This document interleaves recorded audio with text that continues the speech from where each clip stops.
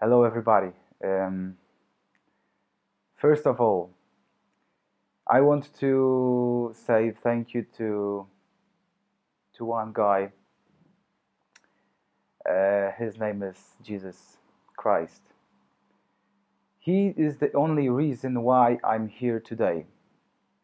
Uh, without him, without his help, without um, his might, I wouldn't be here. You know. Um, I want to share with you a story how I met Jesus Christ in my life, how it happened, and why it happened. I will start with the beginning. Um, I was born in quite fine family. I was born in Poland. I was um, I was raised in Poland. I was going to school here. Uh, the most of my life, I lived in this country in Poland.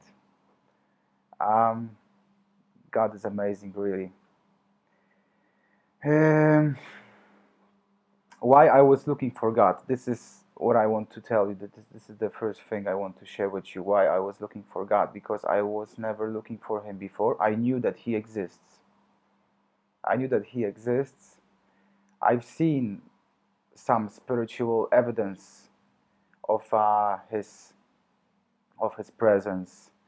Some things that prove that He really exists but I, I, I never followed him. Like I, I never seek for him because he, for me, I, I thought that God is boring because I was raised in the Catholic religion.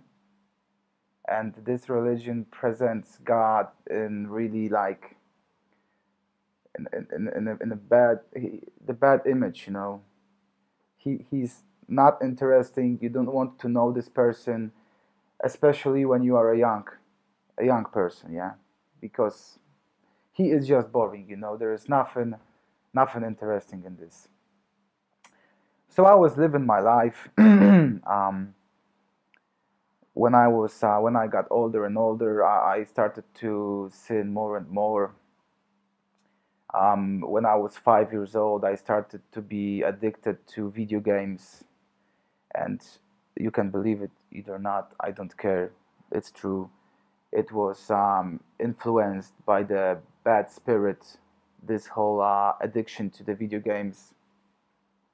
I had a situation once when I was uh, kneeling um, in front of my TV screen because I was checking some video games, some discs. I was putting some discs into the console. It was called Amiga console, and um, I I have uh, inserted one of the discs into this console, and I was kneeling in front of TV, and I uh, the, the, the the TV showed the black screen and the and the red mark in the middle of this um, black screen. Uh, I remember uh, this sign as a pentagram, I might say, or, or some other occult sign that is uh, that is that is used to to, to, to some occult uh, craft and I felt this temptation to look at it, but uh, in the same moment, I, I, I had this thought in my mind that if I will be keep looking into this into this sign, something bad will happen with me. Uh, but I kept looking uh, at this sign, and I felt like suddenly something uh, jumped inside of me, something I couldn't see.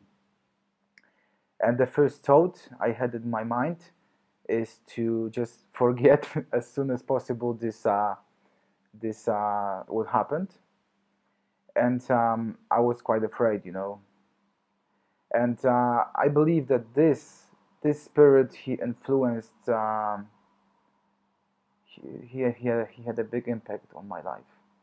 And since that moment, I started to be addicted to video games. I remember uh, I wanted to stop to play, but I couldn't you know I wanted to stop but I couldn't. And it was very uh it was very bad you know because you don't want to do something but you have to do it. Um, and my life looked um, I was quite a soft person. I, I, I remember that I I used to love people you know. Uh, further in my life I, I started to hate them because uh, they hurt me i started to hurt them uh, now it's different now it's totally different because now i am now I have love inside of me, the, the, the love that you cannot describe by words. And um, this love comes from heaven, you know, this love is from God. This is the kind of love you really want to have, but many of people they don't know that um, this is what they want. They look for this this this um this vibe, I might say, this feeling uh, in many things in this world. You know, uh, they do drugs. They, they they they have a lot of sexual partners. They um they have some hobbies. Uh, they look for adrenaline. Um, you can you can you can you can you can uh, search for this in many many things you know around you. But you will never find this except the Christ. Because uh, uh, people are made on, on God's image. And you can't change it. You can claim you know you can uh, say that people come from a ape from monkey. I like bananas you know but I don't. Uh, my my grand grand grandfather wasn't a chimpanzee or whatever it's called. You know, I don't care. Um, why I also want to share with you this um, because it helped me. You know, when I was uh, 21, I think I believe I was 21 years old. I was addicted already to smoking pot, marijuana. I was addicted to, to drinking alcohol I was just addicted to be high because I couldn't stand to, to, to live sober life. Because um, throughout uh, my life I got hurt many times by people and these wounds. They made me to just just look, look for some relief you know and I uh, I found it in in, in, in smoking weed and in drinking alcohol you know I uh, was like I was 18 years old. I started to hang out with people who like introduced me to to, to, to, to smoking weed. I remember when I smoked it for the first time, I felt really good because I felt really peaceful. um, and something uh, clicked in my mind when I smoked the weed for the first time. Mm, that there is something more in this life there is something way more than only what I can see. And I uh, remind myself like the old times when I was a little kid. I was uh, healthy. I had a healthy mind, you know. Um, actually, I had I had really like no wounds. I can say. Um, and I, I, I just started to smoke but I knew since then I, I knew that there is something more, you know. And I started to smoke. I was uh, I've been smoking for um, four years. I, I, I could I can say four years. I've been smoking for years, and also drinking, uh, partying, hanging out with people. Starting, I, I started to go to clubs. Um, I always wanted to pick up some nice, beautiful girls, um, but I remember I was always shy. You know, it's also a very interesting situation because when I was um, a member of kindergarten, I was um, three, four, five years old, six years old. Um, I got rejected from from girl for the first time when I was really small, but it also affected me in a bad way. You know I um, started to see girls as uh, like a dangerous persons, you know, people, and uh, I got angry at them, you know, because I was I, I connected them with hurt, you know. Um, many things, you know, many things. I, I did some things I was ashamed of. Uh, Satan was uh, holding me with, with, with, with shame because I did some stuff. You know, I was uh, 10 years old. I had a friend. I met a guy, you know, um, in the States because I, I, I lived in the States for six months during uh, that time I, when I was 10. And we started to uh, like like tease with our uh, you know, uh, it, it was like a homosexual sin, you know. I did I didn't want to do it, but the temptation was quite strong, and I just uh, let it go, you know. And uh, we did some, uh, not nothing like intercourse, but some uh, peating or something like that. And um, I felt after this, I, I just felt humiliated. I wanted to hide this really deep inside of myself, you know. And uh, it also affected my future life. Uh, I remember I was um, I was a good student, but um, I was always like uh, a guy. I couldn't stand. I couldn't like sit still, you know, during the, the lessons time. I always uh, liked to to laugh, to joke. Everybody laughed at my jokes, you know, during the lesson, during, during the lessons. Um, but the system, I didn't like it because they tried to just drag me down, just be like everybody else, you know. This is the world. This is how it how it how it uh, uh, goes, you know.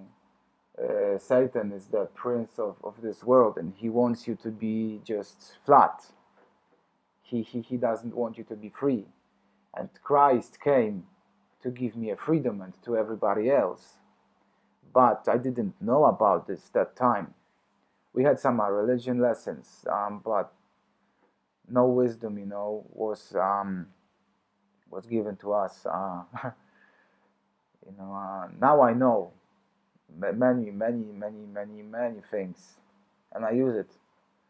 Um, but it happened after I uh, I uh, got I got born again, uh, and it happened when I was 22 and a half years old, I believe. Yes, in that time I was uh, smoking weed, I was smoking cigarettes, I was drinking alcohol also very oftenly. I was uh, addicted to watching pornography, uh, also to masturbate. Um, I could do it like three, four times a day, even sometimes, you know. Uh, also, I couldn't find any girl um, because of these wounds inside of myself. I felt like I'm blocked, and I and I, and I got frustrated because I didn't know what to do with this. Um, and um, it was a night time, around two, three a.m., and I came back to my house, to my home I entered my room, and I uh, have already known that I can uh, that God can help me.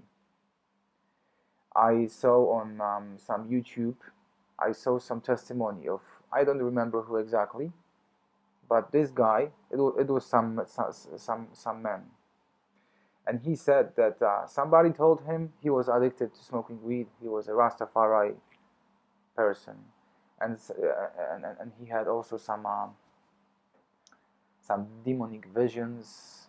He was a demonized person, you know. He suffered depression.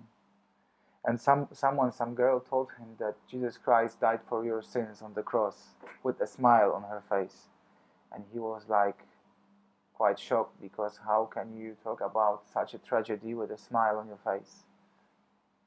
But he believed in this fact that uh, Jesus died on the cross and everything evil came to an end in his life when he gave his life to Jesus Christ.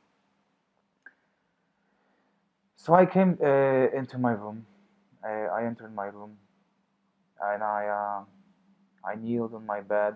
I I uh, rose my hands to God, and I said, God, I'm giving you my life because I don't know how how to live anymore. And it was honest. It was it was straight out of my heart. You know, these words they came out of my heart and I felt like I'm dying, you know. I'm kneeling on this bed, but I feel like I'm dying. Like colors, they went away, but it was a very peaceful, peaceful, uh, peaceful moment. I didn't feel any uh, fear or something. Uh, it was very short, but I know that something, something is coming to, to an end. Um, and I just uh, laid down on the bed and I felt like the, the, the, the life is coming into my body from, from, from outside like this area I can say it was it was my uh, my thing. Uh, uh, anybody can you know experience this differently. And I fell asleep, and I woke up. And I can tell you that when I woke up, everything was different. I started to see in different way. First of all, I felt really good, you know. I felt like I'm accepted. I, I just I just felt it, you know. I felt like I don't have to do anything more, you know. I, I, I tried to do many many things before uh, to be accepted by friends, by anybody. I wasn't myself. I was wear I was wearing a lot of masks. Um, but now I know I don't have to do it, and I can't do anything uh, to be loved more, you know, because now God loves me. Before He He was just waiting, you know, for me to invite Him to my life. Before I was He was a threat to me. I didn't know it, but uh, He was a dangerous person because I wasn't united with Him. And now, when I'm united with Christ, you know, we are together as one. And I wish you this, you know, also to just accept, invite Christ to your life, uh, because this is what uh, this is the meaning of life. Before I I, I, um, invited Christ to my life, I was I was searching for this happiness and this peace in uh, in smoking weed and drinking alcohol, in relationships, also in some kind of uh, mind techniques, uh, so-called the power of present moment. Um, it worked for some time, but um, it wasn't this. Uh, it, it didn't give me what I was expecting, you know, to, to, to, to receive. And when I met Christ, everything, you know, changed. And now I live with uh, with God, you know. Uh, I don't smoke weed. I don't have to. I can lay down on on on on you know on on the on the mat on the mattress made of weed, and I will I, I will feel no temptation to smoke it. Before I couldn't resist. I, I, I had to do it, you know.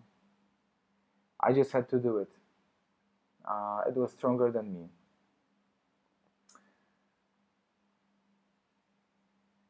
I think this is it, know.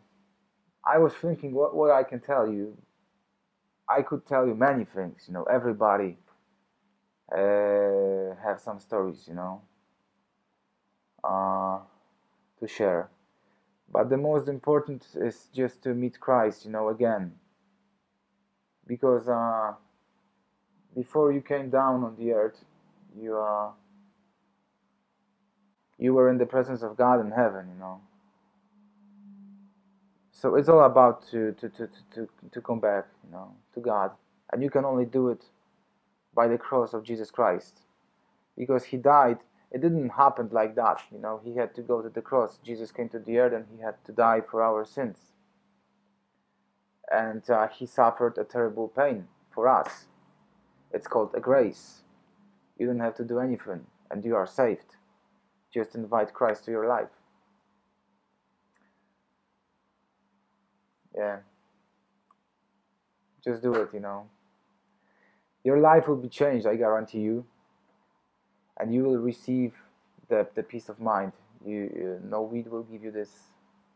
No no party, no girl, nobody no friends, no nobody, no.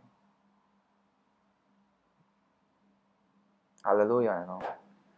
Father, I, I just pray so who um, who shall listen this he will he will listen and I just pray for open hearts, you know, and open minds. Amen. Hallelujah.